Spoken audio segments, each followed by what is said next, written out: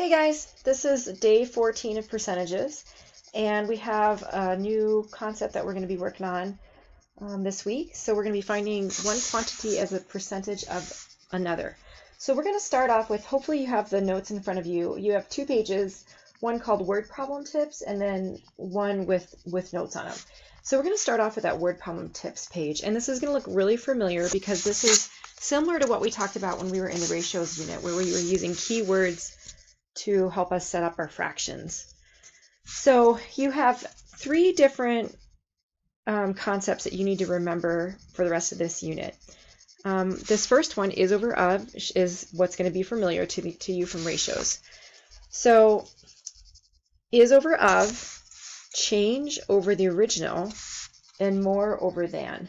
So let me show you what I mean by these things. Okay, let's let's take a look at is over of and do a problem where we need to find the percentage of something.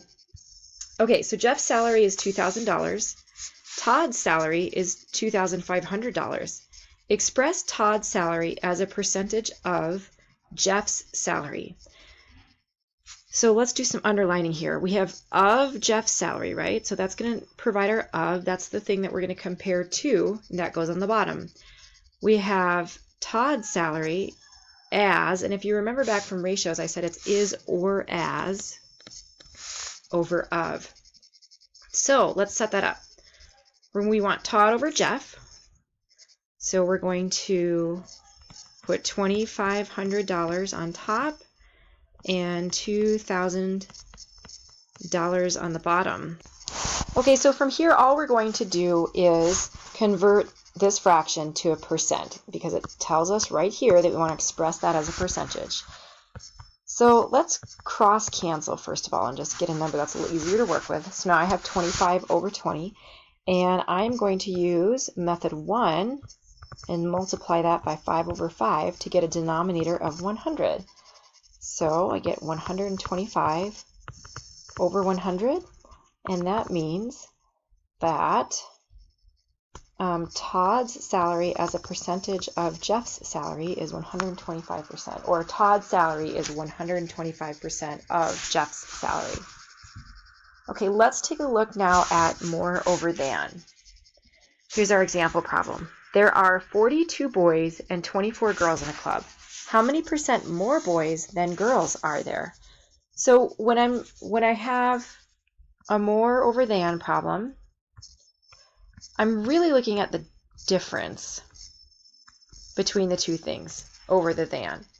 So since it says how many percent more boys, the first step is we need to figure out how many more boys than girls are there. So let's subtract 24 from 42 and we're going to get 18. So there are 18 more boys. Okay, so I'm going to put that on top and we already know that there are 24 girls. We don't have to do anything with that.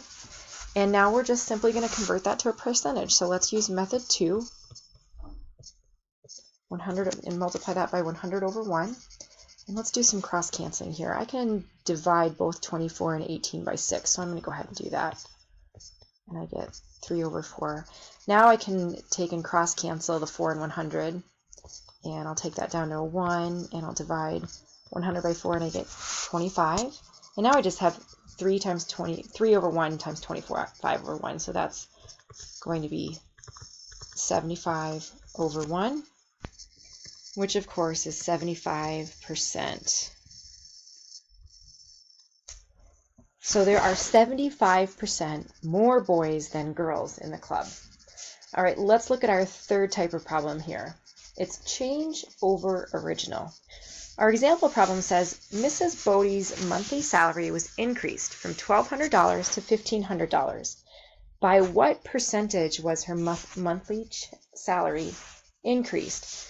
So when we're looking at this, we're looking at the change in monthly salary. So since it was increased from $1,200 to $1,500, the change is $300, okay? So that's going to go on top. The original was $1,200. So that's going to go on the bottom. Okay, so from here, we'll just, let's use um, method 1. And to get that denominator to 100, we're going to convert this to a percentage. So we'll divide by 12 over 12. So if I divide 1200 by 12, of course, that's just 100, right? And then 300 divided by 12 is going to be 25. And so my answer is Mrs. Bodie's salary was increased by 25%.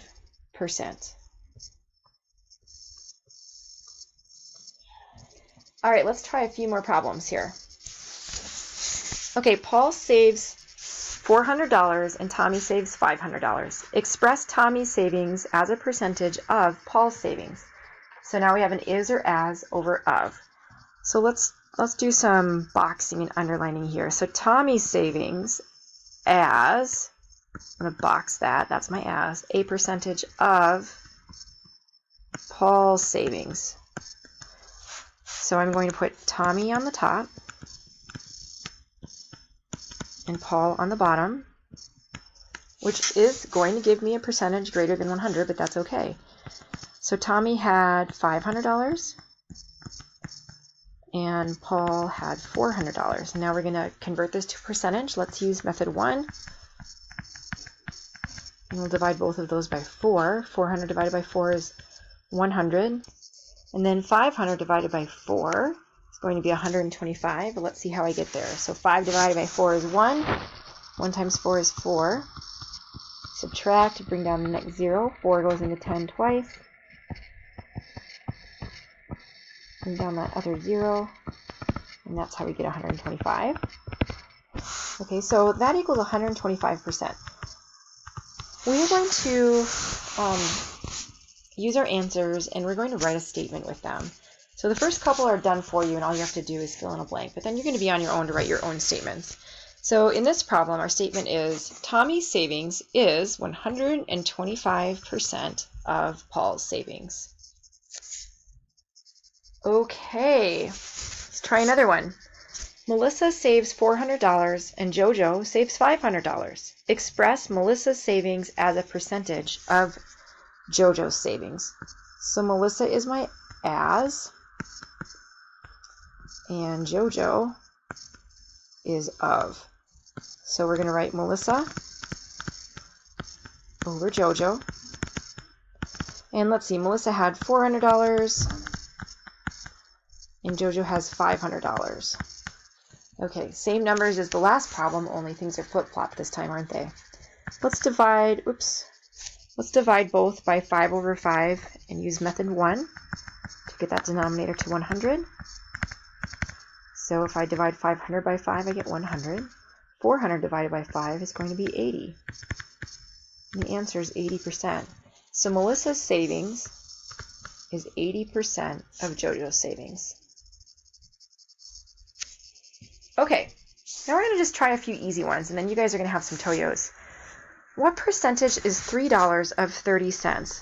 Okay, so here's my of, and here's my is, right? I bet you guys are already going, Mrs. Jurgens, Mrs. Jurgens, I have different units. I know, I'm getting there. So let's do $3 on the bottom and 30 cents on top. And oh, look at that. We have different units. We need to convert one to the other.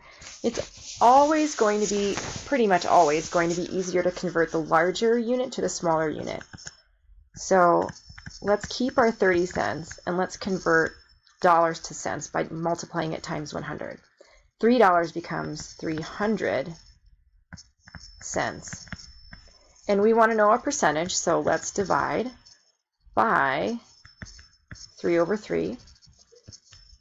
And of course we get 10 on top, and we get 100 on the bottom, and that equals 10%. So 30 cents is 10% of $3. Now notice that down here for my statement, I went back and I used the original um, quantity here, didn't I? The unconverted quantity. And that's the way we want it because we're answering this question up here. So we should use that $3 and not 300 cents. Express 300 milliliters as a percentage of 2 liters. All right, 300 milliliters is my as, and 2 liters is my of, and look at that. I have different units, don't I? Okay, let's convert meters to milliliters. I'm sorry, liters to milliliters. 300 milliliters over 2,000 milliliters because one liter is 1,000 milliliters. And just to make things a little bit easier, I'm going to cross cancel a little bit here. And now I will multiply by 5 over 5 to make that denominator 100.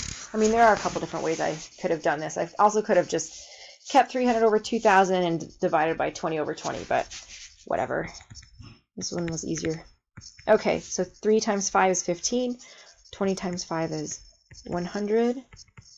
My answer is 15%, and I'm going to say 300 milliliters is 15% of 2 liters. Remember, I went back to that original unit there. Okay, um, let's do one more together, and then you're going to have a bunch of toyos. So express 1.35 meters as a percentage of 90 centimeters. 1.35 meters is my as, and 90 centimeters is my of. Let's convert meters to centimeters. There are 100 cent, or excuse me, 100 centimeters in every meter, so I need to multiply 130, 1.35 times 100. So I get 135 centimeters over 90 centimeters. And we want a percentage. So let's multiply this by 100 over 1. Let's cross cancel here. And then let's cross cancel that 135 and 9. I can divide both by 9. 9 divided by 9 is 1. 135 divided by 9 is 15. And now I have 15 over 1 times 10 over 1, which gives me 150 over 1, which is 150 percent. Now notice that on your notes page, you have to write your own statement. So pause the video and do that right now, and then come back and see if you came up with something similar. All right, you should have said something like 135 meters is 150% of 90 centimeters. All right, go ahead and do the last four on your own, and then come back and check your work. Okay, $20 as a percentage of $5. You should have said $20 is 400% of $5. Number seven, $18 as a percentage of $6. You should have said $18 is 300% of $6.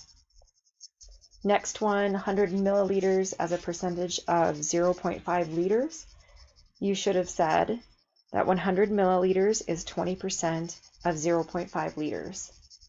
And the last one, 2.4 kilometers as a percentage of 800 meters. Hopefully you said that 2.4 kilometers is 300% of 800 meters. All right, that's all for today, folks.